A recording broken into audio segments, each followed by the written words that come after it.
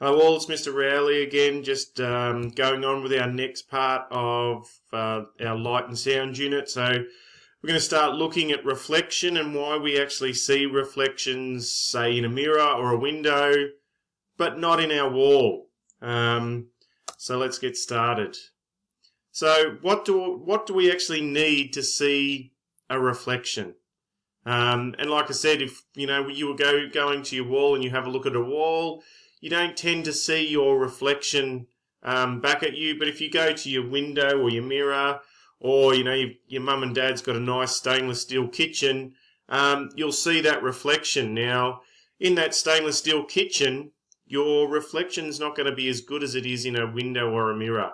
So let's get to the bottom of why. Um, to get a really good reflection, you actually need a really flat surface, such as a mirror or a window. So if you were to actually put your hand over the mirror or the window, you'd feel that it's actually really flat and smooth, got a really smooth texture, um, meaning that it's really flat. Um, and that's going to be the reason why you see your reflection. So if we have a look at this little image here, remember that when you're looking at your reflection, again, you know, as all everything that we see is a reflection. Um, the reason you see your reflection so perfectly in a mirror or a window is because it is a dead flat surface um, and the light as it hits that mirror is bouncing straight back.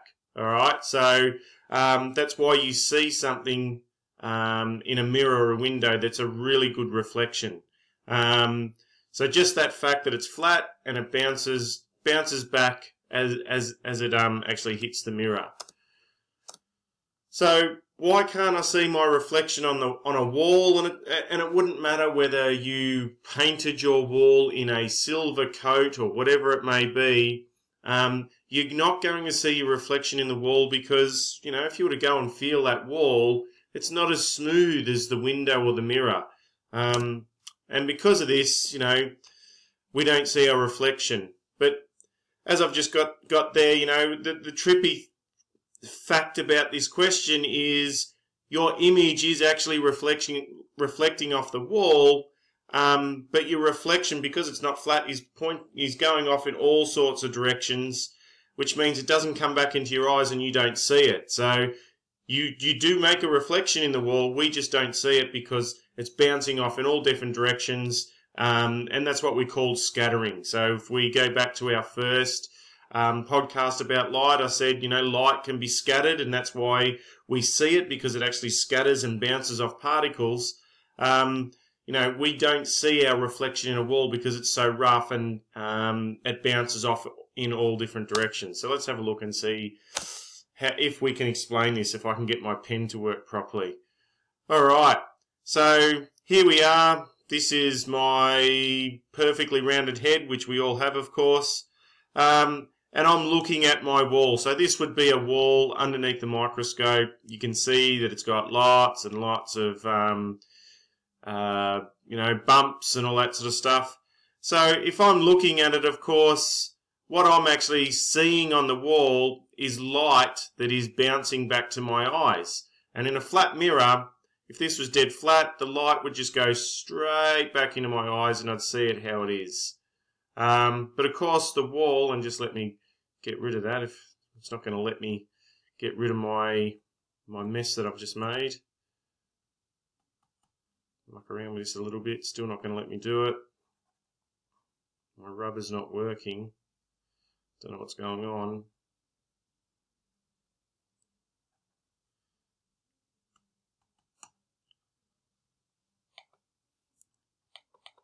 All right, we'll leave that line there for now. It's not going to help me any.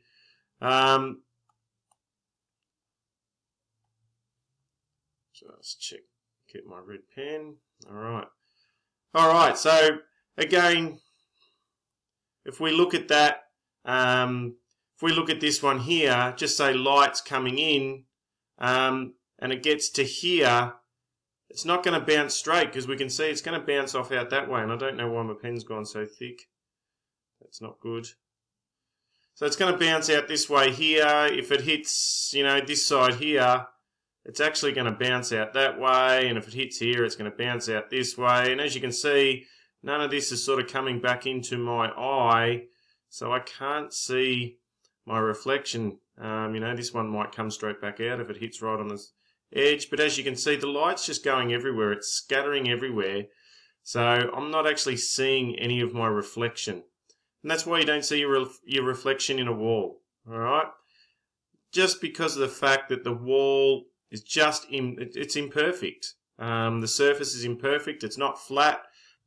So why is it that um, you know what dictates the fact that all of the all of the light moves and bends and reflects off an image a certain way? So let's sort of move into that now. Oh, that's come up at the wrong time, but that's okay. So we're still looking at the re at reflection, and there, as in everything in science, there's a law that dictates what's going to happen to light, and that um, when we're looking at reflection, um, we've got the law of reflect reflection that states that the incident ray, and the incident ray is the ray that's coming from the light source, so this, the, the ray that's actually coming into the mirror um, in the way that we're looking at it at the moment.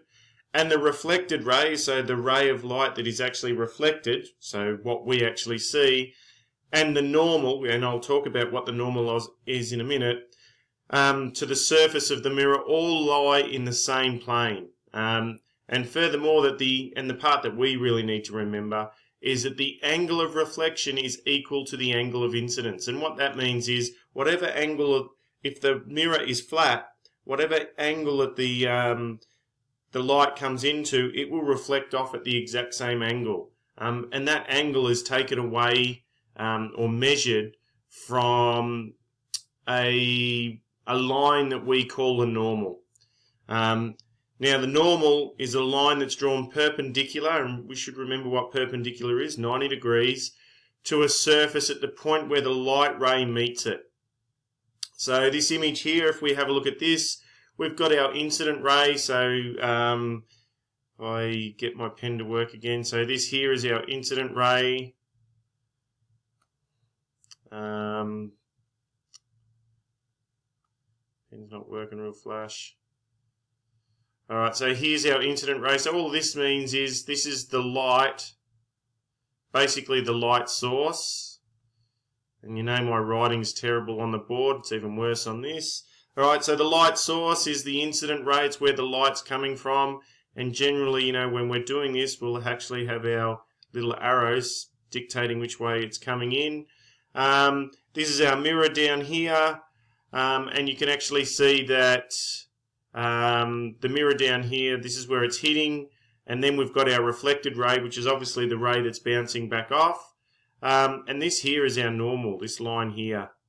Alright, so what we do, and this is easy on a mirror because it's a flat surface, um, we have a look at our surface here, which is runs across here. That's not a very straight line by me. All right, and what we do is we find where that light hits, so it's hit just here, and we draw a line that's 90 degrees to that. Now, in between here, and you all should know from maths that when we see this symbol here, this is saying that we have an angle, an angle that we're going to measure. All right, that angle there, obviously this is our incident ray. So this angle here is called the angle of incidence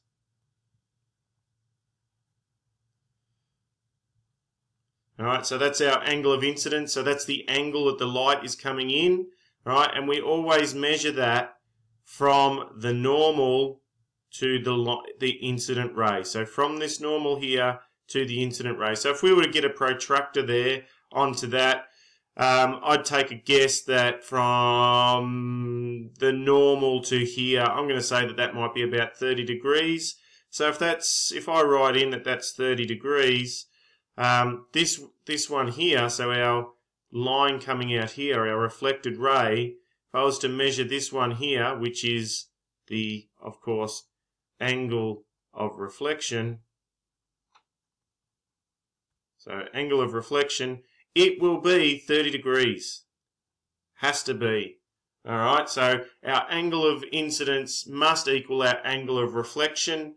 um, our angle of incidence is taken between our incident ray, so the, the um, where the light is coming from, and the normal, um, and the angle of reflection is actually measured from, you know, the reflected ray and our normal. Now you'll be doing some stuff on your light boxes um, and doing some single lines like this, and we'll actually be doing a little bit of measuring and all that sort of stuff on this. Um, so we can get our head around what this normal is. Um, when we start to get further into um, looking at how light travels through different mediums, we really need to get our head around what that normal is. But just remember for now that the normal is a line that's drawn perpendicular, which just means 90 degrees, to a surface at, at the point where the light ray meets it. And now that we're actually looking at mirrors, that means it's going to reflect. When we look down further down the track, we're going to be talking about a different angle. But for now, when we're looking at mirrors, we have an angle of incidence and an angle of reflection. And when a light ray comes in, it must reflect out at the same way. Um, we might leave it there for this video, um, and I'll do another one um, uh, just going back over this and looking at, say, focal lengths and all that sort of stuff, which again you'll be doing with your light boxes. So for now, this one's all we're going to do. Just remember that law of reflection, um, and what we need to remember for that is that the angle of reflection is equal to the angle of incidence. That's all we need to remember about that.